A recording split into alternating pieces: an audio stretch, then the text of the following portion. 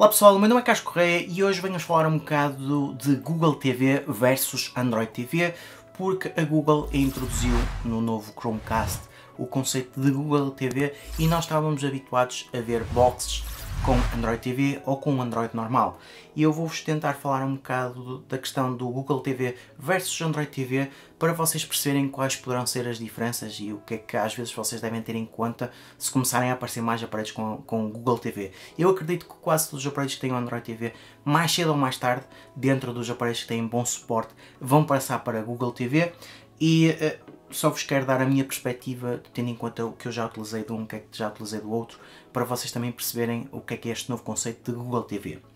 Para todos os efeitos, neste momento o Google TV acaba por ser quase um Android TV com uma skin mais simplificada por cima de Android TV. A mais-valia que eu vejo com o Google TV é que a própria Google está a tentar fazer um launcher que vos vai integrar os serviços, eh, digamos, legais de serviços de stream que são pagos. A mais-valia aqui vai ser mesmo vocês terem uma skin em que vos vai agregar praticamente todos os serviços uh, de stream mais habituais. Estamos a falar, por exemplo, de Netflix, de uh, Amazon Prime, de Hulu, de Disney Plus, HBO. A mais-valia do Google TV vai ser mesmo essa. Vocês vão ter uma secção em que quando vocês fazem pesquisas por um filme, ele vos vai dizer onde é que os filmes existem. Por exemplo, se for um filme que existe no, no Netflix, vai-vos aparecer lá a sugestão para vocês verem Netflix ou então depois vocês vão adicionando o vosso conteúdo uh, nos diversos uh, sistemas stream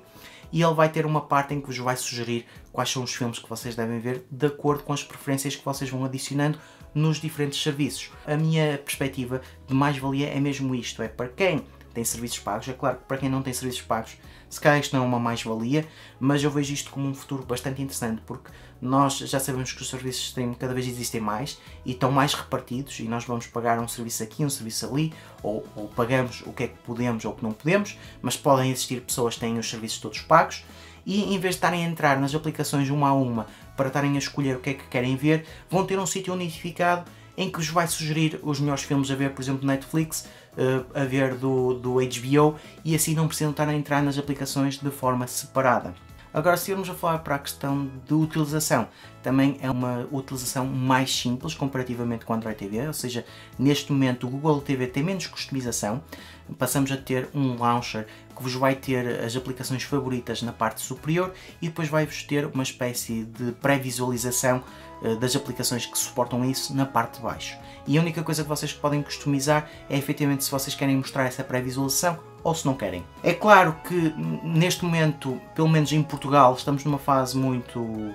eh, inicial. Eu, por exemplo, só consigo configurar Netflix e uh, Amazon Prime. Eu não consigo, por exemplo, adicionar o Disney Plus nem o HBO Portugal, que é o que eu tenho,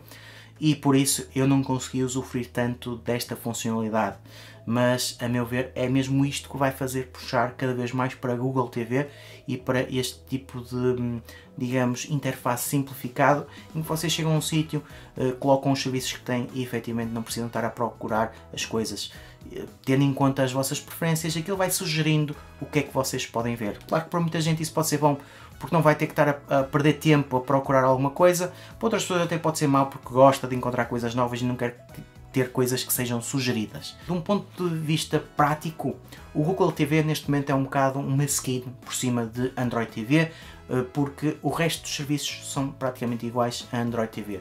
E, e se nós queremos ver de uma forma simplificada é isso. A, eh, a, a Google pegou no Android TV, meteu uma skin nova, meteu algumas funcionalidades novas, mas a base continua a ser Android TV. Claro que se depois formos ver uma segunda ou uma terceira iteração do Google TV, eh, de certeza que vão começar a existir cada vez mais evoluções e cada vez mais diferenciação.